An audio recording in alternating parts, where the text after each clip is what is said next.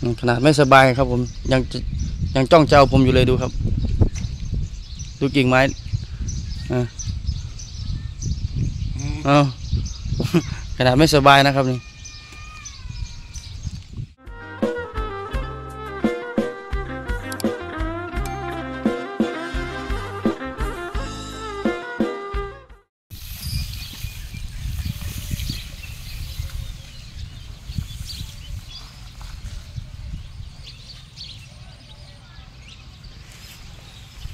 สวัสดีครับผมสวัสดีนะครับ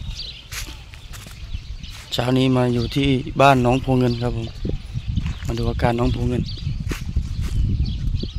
ครับสวัสดีครับวันนี้ครับสวัสดีครับสวัสดีครับผมอาการน้องเป็นยังไงบ้างครับคุณพี่ อาการน้องก็กินหญ้าได้แต่ว่ามีอาการยืนซึมครับผมยืนซึมยืนหลับก็นอนครับผมนอนด้วยสองวันครึ่งสองวันครึ่งรอดูอาการก็เหมือนเดิมครับเหมือนเดิม วันนี้ก็ คุณหมอมาดูก็ฉีดยาแก้ปวดให้แล้วก็ถามแล้วคุณหมอว่าน่าจะไม่เป็นอะไร น่าจะไม่เป็นอะไร แต่ว่าน้องยังยืนซึมตลอดก็อยาก ไปดูอาการเนาะไปเผื่อจะได้ใส่น้ำเกลือเมียนครับผม นอน นอนกลางวัน นอนกลางวันครับ อันนี้คือถ่ายก็เป็นก้อนเล็กๆนะครับ ถ่ายก็เป็นก้อนเล็ก ๆ อาการบางทีมันก็เหมือนช้างถ่ายท้องนะครับ แต่ว่า เราเองไม่สบายใจนะครับ อันนี้คือทางควานก็ไม่ได้ชะล่าใจแต่อย่างใดนะครับ เพราะว่า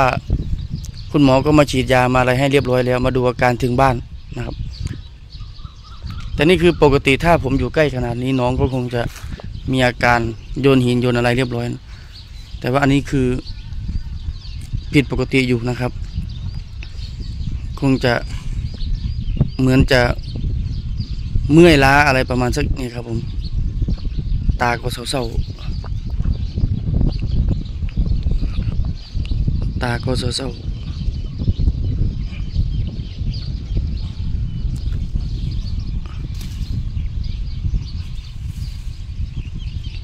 นี่คือก้อนถ่ายนะครับผมก้อนเท่ากำปั้นเองนะครับผม มันขึ้นมีจะกล่องเท่านี้แหละเนาะโอ้ ที่เท่านี้เมื่อถ้าเด็กเก็บวันที่รอบใหญ่ครับใหญ่วันที่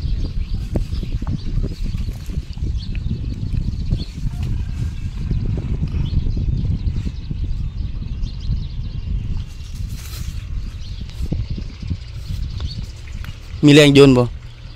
บ่มีแรงโยนเล่นดินได้อยู่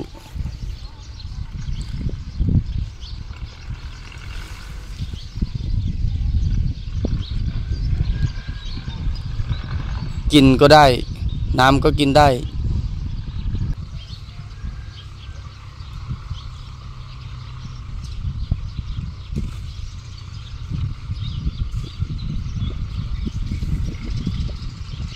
ดูไม่ออกบอกไม่ถูกเพราะว่าขาก็ไม่แข็งนะครับ ก็เดินได้ปกตินะครับ ไม่มีนะครับขาแข้งก็ไม่แข็งนะครับ แต่น้องมีอาการยืนหลับยืนซึมตลอดเวลา แล้วก็ถ้าไม่มีคนอยู่ก็จะนอนลง เป็นมาได้สองวันครึ่งแล้วนะครับ คุณหมอก็มาฉีดยาให้เมื่อวาน เช้านี้ก็เลยไม่สบายใจ เห็นยืนซึมเมื่อคืนนี่นอนดีบ่นอนจะทำเลยเนาะนอนตั้งแต่คำเลยบ่กินหญ้าตัดหญ้าบ้านก็ไม่ก็บ่กินเลยกินแต่หัวเนี่ยที่หาซ้ำก็นอนเลยกิ่งไม้กิ่งอะไรตัดมาให้ก็เหมือนเดิม ส่วนมากก็จะหักเล่นเฉยๆไม่ค่อยกิน อย่างอื่นกินบ่ ย่างเล็กน้อยกินแต่กินแต่กล้วยกินอยู่นะ ต้นกล้วยกินได้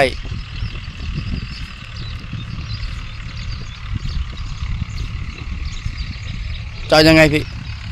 เอาเอายังไงครับผมโทรถามคุณหมออยู่ครั้งหนึงครับผมครับโทษเมื่อเมื่อสักครู่นี้โทรหาหมอหมอยังไม่รับสาย ต้องรอถามคุณหมออยู่ว่าจะยังไงเพราะว่าคุณหมอที่แรกว่าจะเข็นไปคุณหมอก็ไม่ให้เข็นไปเนาะครับเนาะอืม คุณหมอว่าจะมาออกมาดูอาการแต่เมื่อวานก็มาฉีดยาก็ไม่ดีขึ้นครับ เหมือนเดิม โอ้ ตาแบบเหนื่อยๆเนาะตาไม่ค่อยสดชื่นเลย อันนี้คือครั้งแรกจะจะบรรทุกช้างขึ้นไปที่โรงพยาบาลเลยคุณหมอว่าจะออกมาเองนะครับ พอออกมาแล้วก็ฉีดยาเมื่อวานก็ยังเหมือนเดิมครับยังเมื่อวานฉีดยาแก้ปวดไปเข็มเดียวเข็มเดียวครับผมฉีดแค่ยาแก้ปวดเพราะาฉีดอย่างอื่นคุณหมอก็บอกว่าต้องรอดูอาการอีกครับผมต้องดูอาการครับเอาไปดูอาการอยู่ที่โรงพยาบาลเลยง่ายดีที่สุดนะครับผมผมเพราะว่าเขามื อตกด้วยนะครับแม่แม่ๆครับผม มือเขาจะไม่เหมือนไม่มีแรงเนอะอันนี้อันนี้คือเจควรคนใหม่คิดเจอันนี้คืออยากคนเลอันนี้คืออยากทักทายผมอยู่แต่ว่าไม่ค่อยมีแรงเนาะครับอัยันงทักทายอยู่แต่ไม่มีแรงดูครับปกติเจอผมจะไม่ใช่แบบนี้นะครับ ผม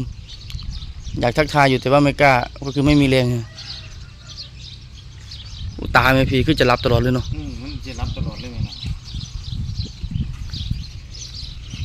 หม อทำงานยังวะไปถึงก็กุกเอ้ยกว่าเขาจะไปถึงก็เกิดโทษโทษบอกกันเลยนะโทรบอกก่อนโทรโทรต้องต้องโทรแจ้งก่อน เมื่อตะครู่ผมโทรไปหาหมอนัดไปปรึกษาหมอนัดก็ยังไม่รับสายนะครับ ผมคือคนว่าให้โทษไปหาหมอนัดหมอนัดเลยหมอบอกว่าสินะอันนั้นหมอนัดผมโทรไปถามแล้วว่าว่าว่าท่านรับสายผมเดี๋ยวรอมึงให้ดูกันอืมจะบอกอะไรคุณพ่อนะพวกเงิน ก่อนวันที่เขาจะเป็นนะครับแม่แม่ร้องทั้งคืนนะอ๋อร้องเหมือนเขาปวดท้องหรือยังไงอะก่อนที่จะเป็นร้อง กลับมาก่อนที่จะเป็นเขาร้องร้องทั้งคืนเลยครับผม เขาอันนี้บ่พี่เขาเที่ยวลุกเที่ยวนั่งบ่ฮะ เที่ยวลุกเที่ยวนั่งบ่บอมีแต่นอนเลยครับ นอนอย่างเดียวเลย มีแต่นอนอย่างเดียวบอเที่ยวลูกเที่ยวนะทุกเที่ยวนี่เพิ่นเป็นเพิ่นสินอนแล้วก็นั่งนอนแล้วก็นั่งอืมทั้งนี่สินอนอย่างเดียวครับผม นอนอย่างเดียว แล้วก็คันนอนลุกขึ้นปุ๊บก็สิมายืนมือตกครับผม ถ้าว่าเมื่อยก็บ่แม่นนะเนาะแค่ไปไกลๆหนึงเนาะ20โลหนึงเนาะบ่แม่นเมื่อยดอกขนาดเดินเป็น100 300โลยังบ่เมื่อยเนาะแม่นน่าจะบ่สบายท้องแหละดูตาเขาเนี่ยคนนี่ตกใจที่ตาเขามันปกติตลอดนะปกติตาต้องโตครับดูแข้งดูขา ดูแข้งดูขาก็ไม่เป็นไรนะครับ เดิน ไม่แข็งขาไม่แข็ง นี่คือหนี้แล้วครับนี่ดูยืนหลับเลยครับ ง่วงตกถึงพื้นดินเลย นี่นะง่วงตกมีปัญหาของเขานี่ครับผมแต่ว่าปกติไม่ใช่แบบนี้นะครับ คนเลี้ยงช้างจะรู้ดีเพราะว่าช้างตัวเองเป็นยังไง อันนี้คือผิดปกตินะครับ ไม่ใช่ไม่ใช่ว่าผมไม่อยากเอาไปหาหมอนะคุณหมอให้รอคุณหมอให้รอควานนี้จะเอาไปอยู่นะครับ แต่คุณหมอให้ดูอาการ ให้เราดูอาการนะครับดูกิ่งไม้อยากจะโยนอยู่แล้วเนี่ย มีแรงโยนหรือเปล่านี่อื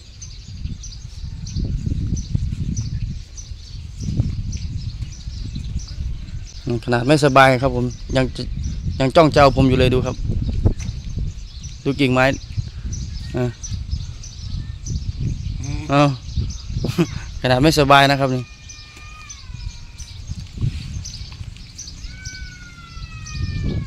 เราจะลองโทรหาคุณหมออีกครั้งหนึ่งนะครับผมอาการก็รู้สึกว่าจะเหนื่อยล้านะครับ ดูอาการอาการเหนื่อยล้า ผิดปกติที่ก้อนทายเนาะก้อนถ่ายเล็กๆ แล้วก็มีเมือกด้วยนะครับเคยเป็นแบบนี้เสียบ่เคยเป็นปกติก็เคยเป็นแบบมีแต่แบบนอนนั่งนอน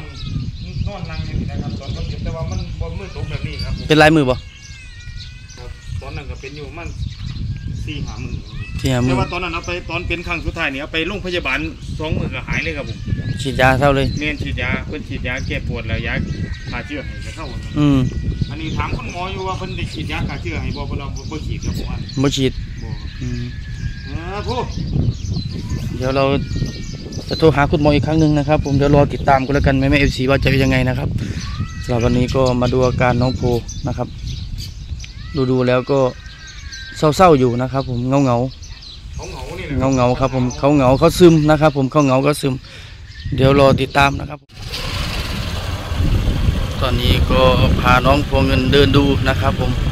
สำหรับอาการรวมๆนะครับ ดูแล้วนะครับ ผมน้องกินหญ้าได้นะครับ กินหญ้ากินอาหารได้ กินน้ำได้ ดื่มน้ำได้ แต่แขนขาก็เหมือนเมื่อยล้านะครับ เพราะว่าอาการช้างถ่ายท้องนะครับนี่เห็นไหมครับ ก็มีผายลมมีอะไรเรื่อยๆอยู่นะครับ ผมก็ถือว่าอาการไม่น่าเป็นห่วง ไม่ใช่ไม่ใช่ช้างปวดท้องนะครับ ผมเรียนให้แม่เอฟซีได้ทราบนะครับ วันนี้ผมมาดูเห็นกับตานะครับหลายท่านก็เป็นห่วงนะครับบางท่านก็เป็นห่วงว่าควานชราใจมากไม่พาไปหาหมอแต่งั้นอย่างนี้นะครับ ผมแต่คุณหมอก็มาดูแล้ว แล้วก็คุณหมอก็บอกว่าช้างถ่ายท้องนะครับ เราเองก็รู้อยู่ว่าช้างถ่ายท้องนะครับันก็เลยพาน้องเดิน ไปออกกำลังกายไปอาบน้ำดูอาการดูนะครับ ภาพรวมๆนะครับ คือน้องดูครับปากก็ยังขยับอยู่ เพราะว่ากินกินกิ่งไม้กินอะไรอยู่นะครับ ผม อาการของช้างถ่ายท้องครับ ผมอาการแบบนี้นะครับสองชาวบ้านก็คงจะหายครับ ผมไม่เป็นไรครับ ไม่น่าเป็นห่วงครับ ที่เห็นน้องนอนบ่อยๆก็คือน้องเป็นช้างเด็กด้วย เวลาเมื่อยมาปุ๊บ ก็จะนอนเลยนะครับ ผมไม่เหมือนช้างอายุมากๆ เหนื่อยก็ไม่กล้านอนนะครับ อันนี้ก็คือดูอาการแล้วนะครับ ไม่เป็นไรครับไม่เป็นไรทุกท่านทุกคน หายห่วงได้นะครับ ผมหายห่วงได้ อีกหน่อยก็จะกลับมาล่าเริงอีกเหมือนเดิมนะครับ ผมวันสองวันนะครับเดี๋ยวไปนี่ไปอาบน้ำก่อนนะครับผม ก็ไม่ค่อยอยากเดินแต่เราต้องพาเดินครับผม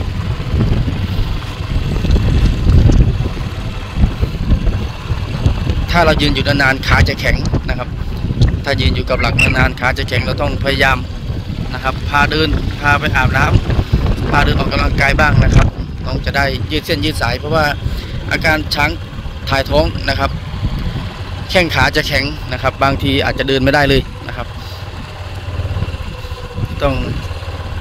พาเดินพาอะไรบ่อยๆนะครับผม